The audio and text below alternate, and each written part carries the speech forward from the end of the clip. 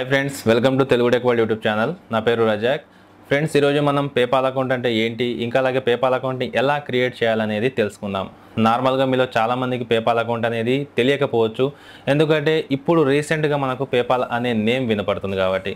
So నేనైతే దాదాపుగా one and half year నుంచి ఈ పేపాల్ అకౌంట్ని యూజ్ చేస్తున్నాను. నాకు ఎక్కడా ప్రాబ్లం అయితే జరగలేదు. చాలా సింపుల్గా మనీ అంటే మనీ ట్రాన్స్ఫర్ చేసుకుంటున్నాను. నా అకౌంట్కి ఇంకా వేరే అకౌంట్స్ కూడా ట్రాన్స్ఫర్ చేసుకుంటున్నాను. సో ఈ పేపాల్ అకౌంట్ అంటే ఏంటి అని చాలామందికి క్వశ్చన్ మార్క్ అయితే ఉంటుంది. నార్మల్గా మీరు వరల్డ్ వైడ్గా ఎక్కడి నుంచైనా సరే పేపాల్ నుంచి మనీ ట్రాన్స్ఫర్ చేసుకోవచ్చు తీసుకోవచ్చు వేరే వాళ్ళకు ఎవరికైనా సరే మీ మనీని ట్రాన్స్ఫర్ చేయొచ్చు చాలా ఈజీగా సో మనం ఎవరికైనా సరే మనీ ట్రాన్స్ఫర్ చేయాలంటే ముఖ్యంగా మనం ఏం చేస్తామంటే వాళ్ళ అకౌంట్ నేమ్ అకౌంట్ నెంబర్ ఇంకా అలాగా ఎఫ్ఎస్సి కోడ్ సో ఇలాగా వాళ్ళ డీటెయిల్స్ మొత్తం గ్యాదర్ చేసి అది కరెక్టా కాదా అని తెలుసుకొని తర్వాత వాళ్ళకు మనీ అనేది ట్రాన్స్ఫర్ చేస్తూ ఉంటాం. సో ఒకవేళ మీరు ఇంటర్నేషనల్ ట్రాన్సాక్షన్ చేయాలంటే వైర్ ట్రాన్స్ఫర్ అని సో చాలా ఉన్నాయి. సో అవన్నీ మనం ఫాలో అవ్వాలి.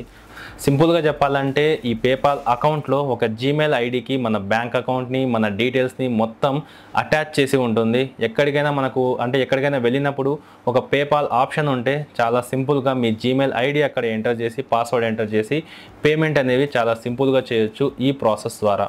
సో నార్మల్గా మీరు చూసినట్లయితే బ్యాంగుడ్ అని ఒక వెబ్సైట్ ఉంది. ఇక్కడ మనకు చాలా తక్కువ ప్రైస్లో ఎలక్ట్రానిక్స్ అనేవి దొరుకుతూ ఉంటాయి. సో వాటిని తెప్పించుకోవాలంటే మన లోకల్ బ్యాంక్స్ ఏవైతే ఉంటాయో state bank Andhra bank so వీటి నుంచి మనం ట్రై చేస్తే మనకు అస్సలు కుదరదు. ఎందుకంటే ఆ బ్యాంక్స్కి మనం ఇంటర్నేషనల్ యాక్సెస్ అనేది ఉండదు కాబట్టి. అలాంటప్పుడు మీరు ఏం చేయాలంటే ICICI bank HDFC Axis bank ఇలాగ ఇంటర్నేషనల్ యాక్సెస్ ఉన్న అకౌంట్ అనేవి ఓపెన్ చేసి తర్వాత వాటిని బుక్ చేసి తెప్పించుకోవాల్సి ఉంటుంది.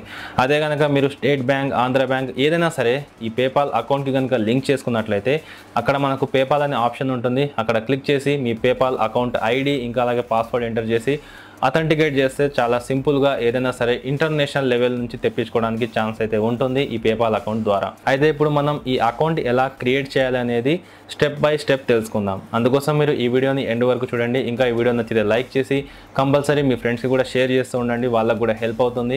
ఇంకా ఇంతవరకు మీరు మన ఛానల్ని సబ్స్క్రైబ్ చేసుకోలేకపోతే కింద red colour subscribe button click చేసి పక్కనే ఉన్న బెల్ ఐకాన్ని కూడా యాక్టివేట్ చేసుకోండి. ఇందుకోసం మీరు ముందుగా నేను డిస్క్రిప్షన్లో ఒక లింక్ ఇస్తాను. సో ఆ లింక్ని క్లిక్ చేసి మీకు డైరెక్ట్గా పేపాల్ వెబ్సైట్ అనేది ఓపెన్ ఓపెన్ అవుతుంది. సో ఇది మీరు మొబైల్లో కూడా ట్రై చేయొచ్చు. మొబైల్లో ఏం చేయండి అంటే మీరు డెస్క్టాప్ మోడ్లోకి కన్వర్ట్ చేసుకోండి. మీరు గూగుల్ క్రోమ్లో ఓపెన్ చేసి మీకు ఆ ఫీచర్ అనేది ఉంటుంది. సేమ్ అలాగే ట్రై చేయొచ్చు.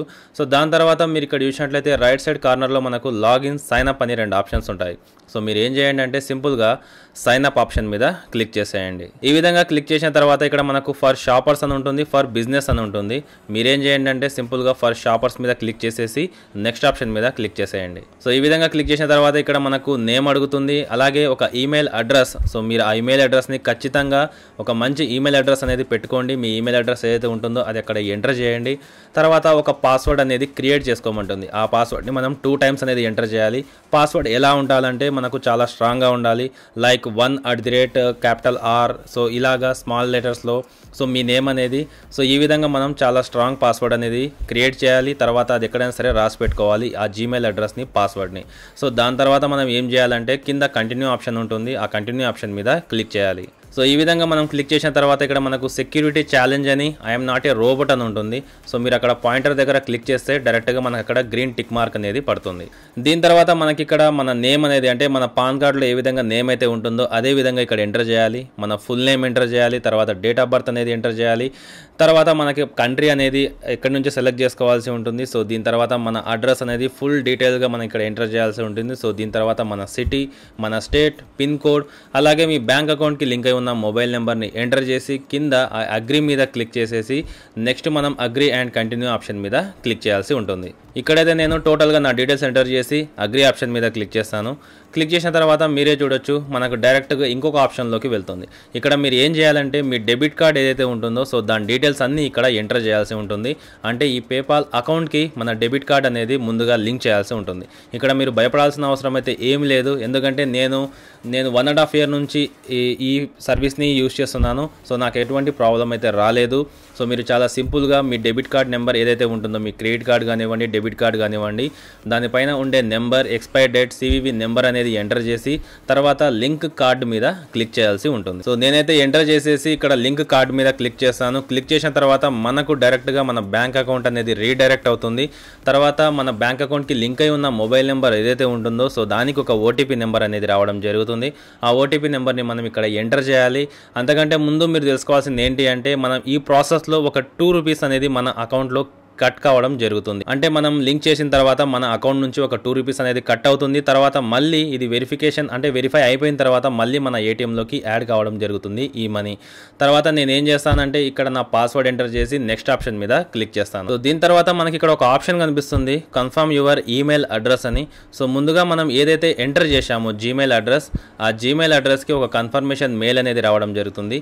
సో మీరు సింపుల్గా ఏం చేయండి అంటే మీ జీమెయిల్ అడ్రస్ అనేది ఓపెన్ చేసి అక్కడ చూసినట్లయితే పేపాల్ నుంచి ఒక యాక్టివేషన్ అంటే ఒక కన్ఫర్మేషన్ కోసం ఒక మెయిల్ అనేది రావడం జరుగుతుంది. ఆ మెయిల్ని ఓపెన్ చేసి మనం కన్ఫర్మ్ చేసినట్లయితే డైరెక్ట్గా మళ్ళీ పాస్వర్డ్ అనేది ఎంటర్ చేసి పేపాల్ అకౌంట్ని ఓపెన్ చేయమని అడుగుతుంది.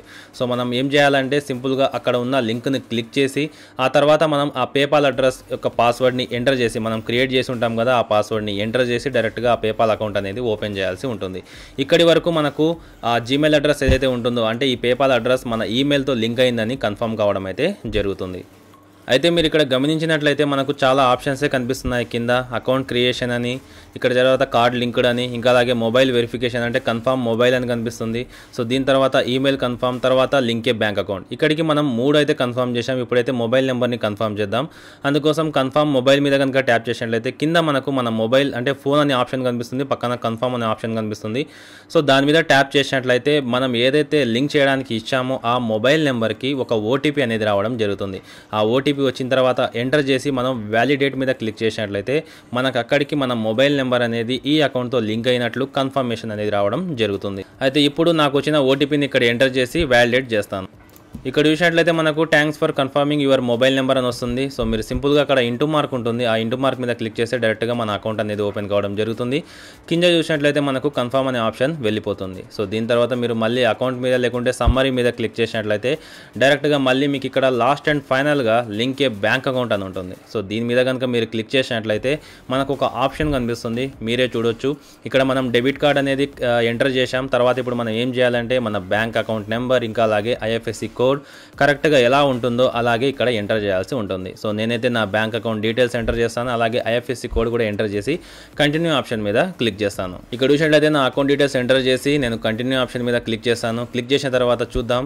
సో ఇక్కడ చూసినట్లయితే మీరు పైన చూడొచ్చు. State Bank of India auto withdrawal అని మనకు ఆప్షన్ కూడా కనిపిస్తుంది. అంటే మనకు ఎవరైనా సరే మనీ ట్రాన్స్ఫర్ చేస్తే ఒక ట్వంటీ ఫోర్ అవర్స్లో మన అకౌంట్కి రావడం అయితే జరుగుతుంది. దీని తర్వాత మీరు ఇక్కడ పైన చూసినట్లయితే మనకు ఒక నోటిఫికేషన్ ఐకాన్ మీద ఒక టూ సింబల్స్ కనిపిస్తున్నాయి కదా. సో ఇక్కడ మీరు ఏం చేయండి అంటే కింద సెకండ్ ఆప్షన్లో మనకు మన పాన్ కార్డ్ నెంబర్ అనేది ఎంటర్ చేయమని అడుగుతుంది. సో మీరు ఏం చేయండి అంటే సెకండ్ అకౌంట్ అని ఉంది కదా సెకండ్ ఆప్షన్లో. సో అక్కడ మీరు ఓకే ఆప్షన్ అనేది కనిపిస్తుంది. ఆ ఓకే ఆప్షన్ మీద క్లిక్ చేసేయండి. సో దీని తర్వాత మనం ఓకే ఆప్షన్ మీద కనుక క్లిక్ చేసినట్లయితే మనకు వెంటనే ఇక్కడ ఒక ఆప్షన్ కనిపిస్తుంది. వెరిఫై యువర్ ఇన్ఫర్మేషన్ అని మీరు గెట్ స్టార్టెడ్ మీద క్లిక్ చేసేయండి. క్లిక్ చేసిన తర్వాత ఇక్కడ చూసినట్లయితే మన నేమ్ కనిపిస్తుంది. మన పాన్ కార్డ్ నెంబర్ అనేది ఎంటర్ చేయమని మనకి ఇక్కడ అడుగుతుంది. సో మీ పాన్ కార్డ్ నెంబర్ ఏదైతే ఉంటుందో అది కంపల్సరీ ఎలా ఉందో అలానే ఇక్కడ ఎంటర్ చేయాల్సి ఉంటుంది. సో దీని తర్వాత ఇక్కడ రెసిడెన్షియల్ అడ్రస్ అని ఉంటుంది. సో మీరు కనుక అక్కడ ట్యాప్ చేసినట్లయితే మీ ఇంటి అడ్రస్ మీరు ఏదైతే ఎంటర్ చేశాడో అది మనకు అక్కడ అలానే కనిపిస్తుంది. సింపుల్గా ఆ అడ్రస్ని సెలెక్ట్ చేసుకొని కింద సబ్మిట్ ఆప్షన్ మీద క్లిక్ చేయాలి. సో నేనైతే పాస్వర్డ్ అంటే నా పాన్ కార్డ్ నెంబర్ అనేది ఎంటర్ చేశాను. సో దీని తర్వాత రెసిడెన్షియల్ అడ్రస్ మీద ట్యాప్ చేసి నా అడ్రస్ని సెలెక్ట్ చేసుకొని సబ్మిట్ ఆప్షన్ మీద క్లిక్ చేస్తాను.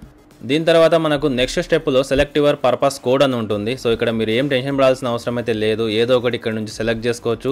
ఇక్కడ చూసినట్లయితే మనకు ట్రావెల్ అని కన్స్ట్రక్షన్ సర్వీస్ అని టెలికమ్యూనికేషన్ అని ఏదో ఒకటి ఉంటుంది. సో మీకు నచ్చింది. సో నేనైతే ఏం చేస్తానంటే పర్చేసెస్ టువార్డ్స్ ట్రావెల్ అని ఉంటుంది. సో దాన్ని సెలెక్ట్ చేసుకొని సబ్మిట్ ఆప్షన్ మీద క్లిక్ చేస్తాను. సో ఇక్కడ మీరు పక్కన చూడొచ్చు personal information purpose code add bank అనేది గ్రీన్ సింబల్లో మనకు కనిపించడం అయితే జరుగుతుంది. ఇప్పుడు నేనేం చేస్తానంటే గో టు అకౌంట్ మీద కనుక క్లిక్ చేసినట్లయితే ఇక్కడికి టోటల్గా మనం చేయాల్సిన సెటప్ అంతా కంప్లీట్ అయిపోయిందని అర్థం. సో మీరే చూడొచ్చు మన బ్యాంక్ అకౌంట్ డీటెయిల్స్ మన డెబిట్ కార్డ్ నెంబర్ డీటెయిల్స్ ఇప్పుడైతే మనం get more out of PayPal మీద క్లిక్ చేసినట్లయితే టోటల్గా మనకు గ్రీన్ కలర్లోకి చేంజ్ అవుతాయి. అంటే అకౌంట్ టోటల్గా క్రియేట్ అయిందని అర్థం.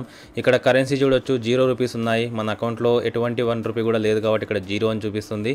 సో ఈ విధంగా మనం పేపాల్లో అకౌంట్ అనేది క్రియేట్ చేసుకోవచ్చు. మీరు ఎవరైనా సరే అడిగితే జస్ట్ ఈ ఈమెయిల్ ఐడి ఏదైతే ఉంటుందో మీరు ఎంటర్ చేసిన ఈమెయిల్ ఐడి సో అది వాళ్ళకి ఇస్తే సరిపోతుంది. డైరెక్ట్గా వాళ్ళు పేపాల్ నుంచి ఆ ఈమెయిల్ అడ్రస్కి మనీ అనేది ట్రాన్స్ఫర్ చేస్తారు. సో ఓవరాల్గా అకౌంట్ అనేది అయిపోయింది. సో దీని తర్వాత మనకు కొన్ని మెయిల్స్ అనేవి మన జీమెయిల్కి రావడం జరుగుతుంది. సో ఇక్కడ మీరే చూడొచ్చు. You can now receive your payments అని ఇంటూ పేపాల్ అకౌంట్ అని. సో చాలా మెయిల్స్ అయితే మనకు రావడం జరుగుతుంది. సో ఈ మెయిల్స్ అన్ని మీకు వచ్చాయి అంటే కంపల్సరీ మీ అకౌంట్ అనేది హండ్రెడ్ పర్సెంట్ కంప్లీట్ అయిందని అర్థం. ఫ్రెండ్స్ టోటల్గా ఇది పేపాల్ అకౌంట్ అంటే ఏంటి? ఇంకా అలాగే పేపాల్ అకౌంట్ని ఎలా క్రియేట్ చేయడం అనేది. అయితే నాకు తెలిసినంత వరకు మీకు ఈ వీడియోలో నేను ఫుల్ ఇన్ఫర్మేషన్ అందించాను అనుకుంటున్నాను సో ఒకవేళ మీకు కనుక ఈ వీడియో నచ్చినట్టయితే లైక్ చేయండి. ఇంకా ఈ వీడియోని మీ ఫ్రెండ్స్ అండ్ ఫ్యామిలీ మెంబర్స్కి ఫేస్బుక్ వాట్సాప్ గ్రూప్లో షేర్ చేస్తూ ఉండండి. మర్చిపోకుండా కింద red colour subscribe button click చేసి పక్కనే ఉన్న బెల్ ఐకాన్ని కూడా యాక్టివేట్ చేసుకోండి.